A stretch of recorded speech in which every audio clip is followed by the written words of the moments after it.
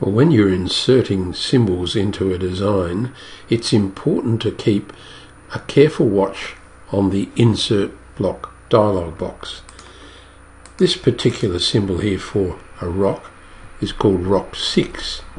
Notice that its scale factor is 0.002. The reason it's so low is that this designer has brought that rock symbol in from the metric version of GCAD Plus, even though this version of GCAD Plus is the is a, is a version where we're drawing in decimal feet, but I digress. If we go to blocks and pick up rock 6 and say we're going to insert it into the drawing, this is the dialog box you need to pay attention to. If you notice at the moment the X scale, as we bring this in, it's going to come in at a uniform scale. If I take that box off, it's going to come in at a uniform scale of X and Y both at 1. Let's put it back on.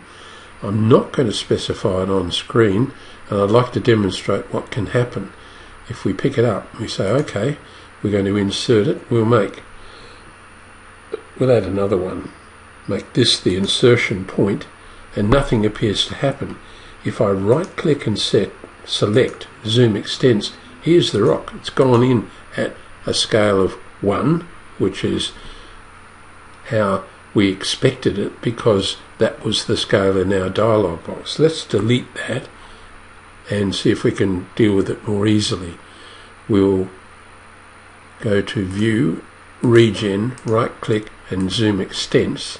Now we'll do it again. We'll go to the Blocks folder and we'll say Insert into the drawing, but this time we'll say Specify the scale on screen. So we'll be in control of how that rock looks.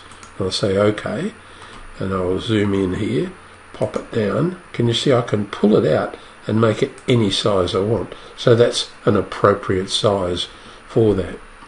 On the subject of blocks, when you come here, if you scroll up and down through the blocks that are in this drawing, as I move down, we'll come across one or more of the blocks which are not actually used in the drawing.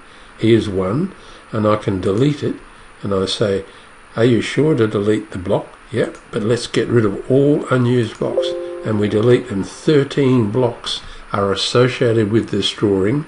Think of them as sitting on a shelf ready to be inserted using the technique that we've just done. So they're all now removed and we can close. So we've cleaned up that list of blocks that are sitting and associated with this drawing.